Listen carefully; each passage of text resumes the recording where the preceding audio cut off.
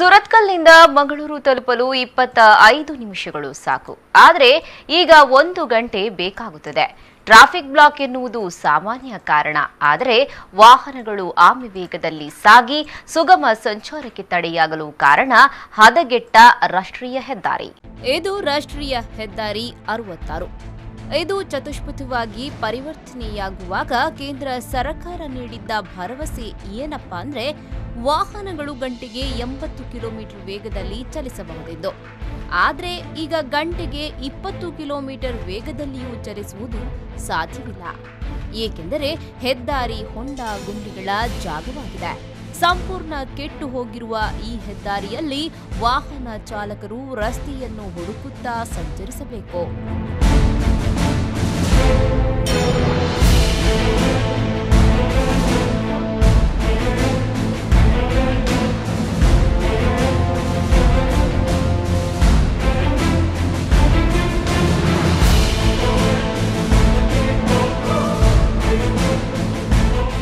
ರಾಷ್ಟ್ರೀಯ ಹೆದ್ದಾರಿ ಎಂದು ಮಂಗಳೂರಿನಿಂದ ಸಂಚರಿಸುತ್ತಾ ಹೋದರೆ ಕೂಳೂರು ತಲುಪಿದಾಗ ಗೊಂದಲ ಉಂಟಾಗುತ್ತೆ. ಡಾಮರು ಎದ್ದು ಹೋಗಿ ಉಂಟಾಗಿರುವ ಗುಂಡಿಗಳಲ್ಲಿ ಸುಗಮ ಸಂಚಾರ ಕಳೆದ ಕೆಲವು ವರುಷಗಳಿಂದ ಕನಸಿ ಆಗಿಬಿಟ್ಟಿದೆ. ಪನಂಗೂರು ಬೈಕಂಪಾಡಿ ಹೊನ್ನಕಟ್ಟೆ ಮತ್ತು ಕುಳಾಯಿ ಪ್ರದೇಶಗಳಲ್ಲಿ ಹೆದ್ದಾರಿ ತೀರಾ ಹದಗೆಟ್ಟಿದೆ. ಹಾಗೆಯೇ ಸುರತ್ಕಲ್ ಟೋಲ್ಗೇಟ್ ಬಳಿ ಸುಂಕ ಕೊಟ್ಟು ಬರುವಾಗ ಹಣಕ್ಕೆ ಬೆಲೆ ಇಲ್ಲ ಎಂಬಂತಾಗುತ್ತದೆ.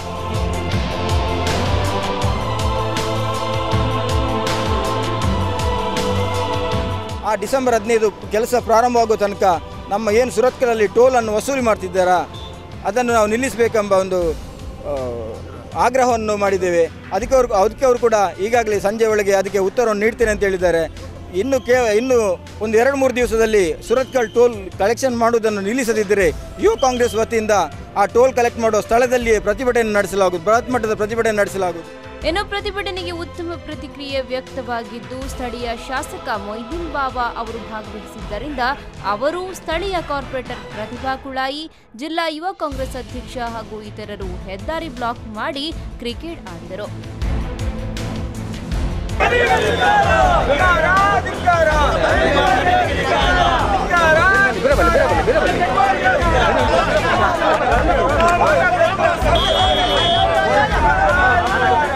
ಹೆದ್ದಾರಿಯ ಈ ದುರಾವಸ್ಥೆಗೆ ದಕ್ಷಿಣ ಕನ್ನಡ ಸಂಸದ ನಳಿನ್ ಕುಮಾರ್ ಕಟೀಲ್ ಅವರ ನಿರ್ಲಕ್ಷ್ಯವೇ ಕಾರಣ ಎಂದು ಪ್ರತಿಭಟನಾಕಾರರು ಆರೋಪಿಸಿದ್ದಾರೆ.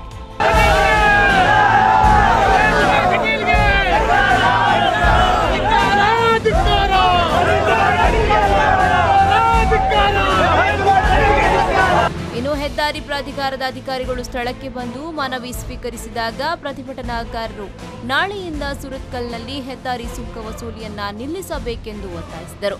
ಹೆದ್ದಾರಿ ದುರಸ್ತಿಯಾಗದೆ ಸುಂಕ ವಸೂಲಿ ಸರಿಯಲ್ಲ ಎಂದರು. ನಿಮ್ಮ ಕಣ್ಣಿಗೆ ಕಾಣ್ತಾ ಇದೆ. ಇಲ್ಲಿಯ ನಾವು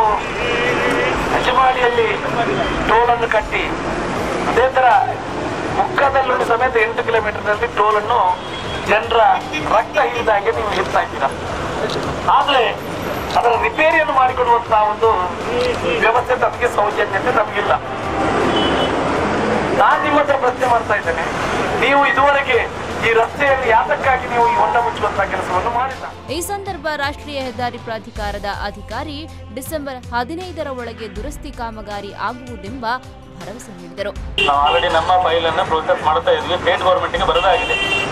ಸ್ಟೇಟ್ ಗೌರ್ಮೆಂಟ್ಗೆ ರಾಜ್ಯ ಸರ್ಕಾರದಿಂದ ನಮಗೂ ಒಂದು ಕನ್ಸೆಂಟ್ ಬೇಕು. ಶಾಸಕರು ಅದನ್ನ ಫಾಲೋ ಅಪ್ ಮಾಡಿ ಫೈನಲ್ ಮಾಡಿದ್ರೆ ನಾವು ಸೆಂಟ್ರಲ್ ಇಂದ ಅಪ್ರೂವಲ್ ತಗೊಂಡು ಯಜಮಾನಿಗೆ ಮರ್ಜಿ ಮಾಡ್ತೀವಿ.